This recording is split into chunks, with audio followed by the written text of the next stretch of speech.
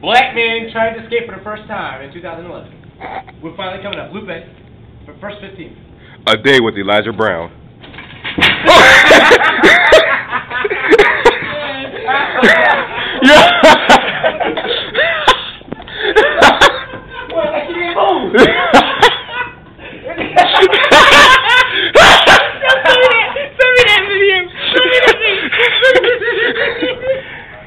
Any word?